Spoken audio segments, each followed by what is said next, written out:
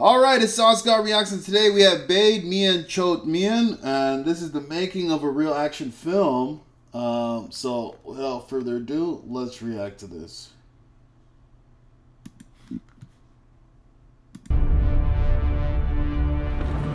People often ask me, what is this wild, crazy fascination of making these big action films? And I don't have an answer. I usually say that maybe it's an instinct, an instinct of feeling scared, an instinct of trying Oh my god, this is crazy action. to achieve something which is impossible. Three, two, one, action!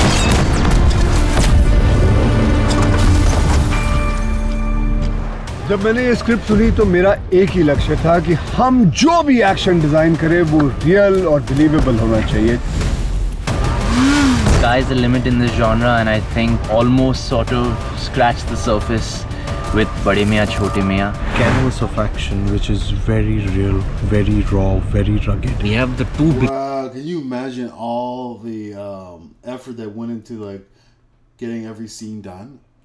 Biggest action stars और action जो होना चाहिए वो धमाकेदार होना चाहिए और real होना चाहिए. I swear, Bollywood movies are becoming like Hollywood movies. You know what I mean? The budget is there now.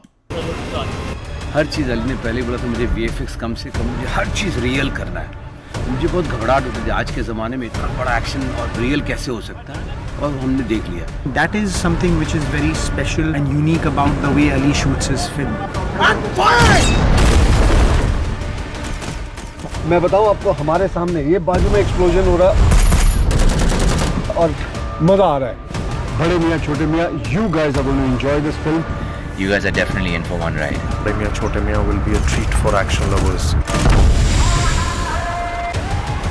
oh my God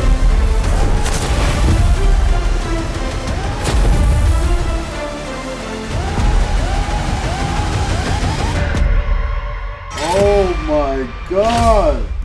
Can't wait to see this movie. I'm definitely gonna go see this movie. Hopefully they come with a version that has English subtitles because I want to see this movie. It's coming out Eid April 2024. Take care, have a good one, and I'll see you on the next one.